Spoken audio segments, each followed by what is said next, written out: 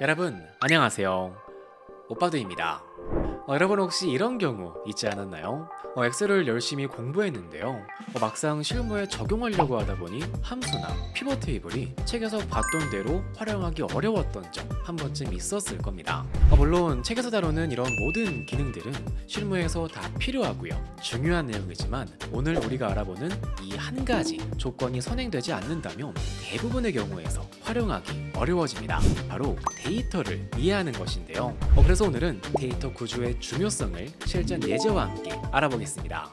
자, 화면을 잘 보시면 이렇게 직원별 할당량을 정리한 표가 있습니다. 이 왼쪽과 오른쪽에 있는 데이터는 모두 동일한데요. 자, 여러분께서는 어느 형태의 데이터가 좀 더 익숙하신가요?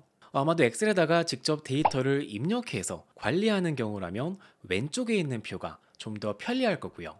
어, 반면에 회사에서 쓰고 있는 어떤 프로그램에서 데이터를 다운받아서 작업을 하는 상황이라면 아마도 대부분의 경우는 오른쪽에 있는 형태가 좀 더 익숙할 겁니다. 자, 그래서 오늘 강의를 통해서 이 왼쪽에 있는 표와 오른쪽에 있는 표의 차이점을 꼭 이해하신다면 앞으로 여러분의 업무 시간이 최소 10배 이상 단축될 거라고 확실하게 말씀드리고 싶습니다. 자, 우선 왼쪽에 있는 표를 먼저 보겠습니다. 어, 만약 여기에서 할당량이 가장 높은 1, 2, 3등을 구하려면 어떻게 해야 할까요? 어, 아마도 엑셀을 조금 사용해 보셨다면 이 왼쪽에다가 이렇게 순위를 입력하고요. 그리고 오른쪽에는 LARGE 함수를 사용해서 이 범위에서 각각 순위에 해당하는 값을 이렇게 편리하게 구할 수 있을 겁니다. 어, 하지만 함수를 사용하게 되면 이렇게 별도의 셀을 지정해서 작성해야 하는 번거로움이 있고요. 그리고 위쪽에 있는 더하기 버튼을 한번 클릭해 볼게요. 어, 그러면 이렇게 새로운 데이터가 추가되는 상황을 가정한다면 매번 데이터가 추가될 때마다 이 함수에 사용된 범위를 다시 작성해야 하는 문제가 생깁니다. 자, 하지만 오른쪽에 있는 표는 어떨까요? 이 표에다가 필터를 적용하고요. 이 데이터를 한 번만 내림차순으로 정렬하면 가장 높은 3개의 데이터를 편리하게 구할 수 있습니다. 어, 그리고 새로운 데이터가 추가되었을 때에도 이렇게 밑에다가 새로운 데이터를 추가해 볼게요. 그쵸? 자, 그럴 때에도 이 필터를 한 번만 다시 정렬해 주면 아주 편리하게 데이터를 분석할 수 있습니다. 자, 이번에는 이 두 표의 결정적인 차이인데요. 어, 바로 데이터가 누적될 때 어떤 문제가 발생하는지 두 가지 예제로 알아보겠습니다. 자, 우선 왼쪽에 있는 표를 잘 보시면 어, 김태량이라는 직원이 4월 달에 퇴사를 했어요. 어, 그래서 이렇게 데이터가 누적되면 중간에 비어있는 범위가 생깁니다. 어, 그리고 이러한 범위는 데이터가 누적될수록 더 늘어나겠죠. 자, 반면에 오른쪽에 있는 표는 어떨까요? 어, 중간에 직원이 퇴사를 하더라도 그 직원은 제외하고 데이터를 쌓아주면 되기 때문에 누락되는 셀 없이 데이터를 더욱 깔끔하게 관리할 수 있습니다.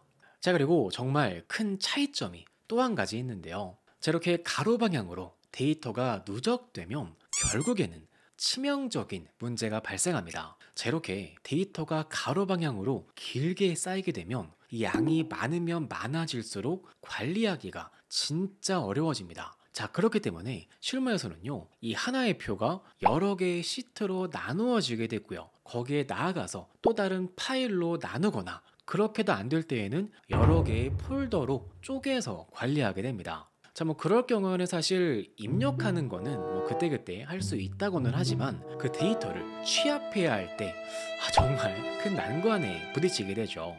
자, 반면에 이 오른쪽에 있는 형태로 데이터를 관리하게 되면 이 데이터가 아무리 많이 누적되어도요. 이 오른쪽에다가 연도라는 구분을 하나 추가해주면 이렇게 몇 년도에 몇 월 달인지 편리하게 관리할 수 있습니다. 자, 이제 가장 중요한 내용인데요. 자, 그렇다면 이 왼쪽에 있는 표와 오른쪽에 있는 표는 과연 어떤 차이가 있는 걸까요?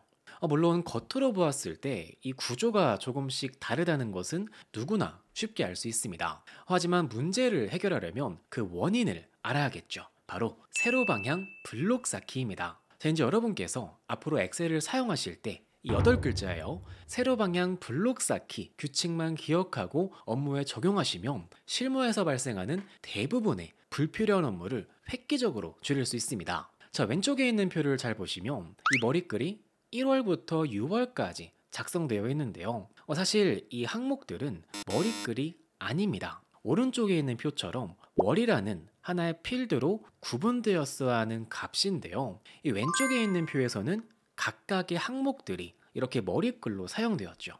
자, 그렇다 보니 어떤 문제가 발생했나요? 이렇게 데이터가 추가될 때마다 아래로 쌓이는 게 아니라 오른쪽으로 쌓이는 문제가 발생한 겁니다.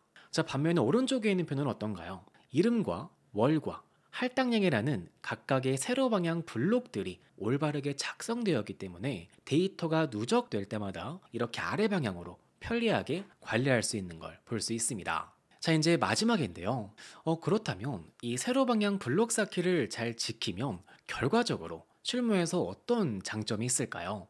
바로 복잡한 함수나 기능을 사용하지 않고요. 간단하게 피벗 테이블 하나만 이렇게 딱 얹어주면 업무 자동화를 한 번에 구현할 수 있습니다. 자, 지금 화면을 잘 보시면 아까와 동일한 데이터가 준비되어 있습니다.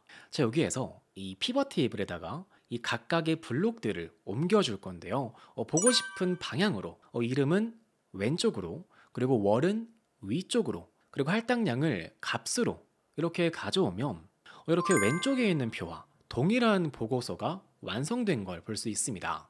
자, 따라서 사실 왼쪽에 있던 표는요, 원본으로 관리하는 데이터가 아니라 원본 데이터는 이렇게 따로 있는 상태에서 피벗 테이블로 만들어졌어야 하는 보고서 형태의 서식이었다라는 것을 알 수 있습니다. 어, 이 세로 방향 블록 쌓기에 대한 보다 자세한 설명과 정교화 예제는요 오른쪽 상단 이전 영상 강의에서 자세히 정리했으니 참고해 주시고요. 그리고 교재 72쪽을 보시면 셀 병합 기능을 사용할 때 주의사항도 함께 정리했으니 참고해 주시길 부탁드리겠습니다. 뭐 오늘 강의에서 다룬 내용 중 추가로 궁금하신 내용은 아래에 댓글로 남겨주시고요. 오늘도 강의 끝까지 시청해주셔서 진심으로 감사드립니다. 그럼 다음 강의에서 뵙겠습니다.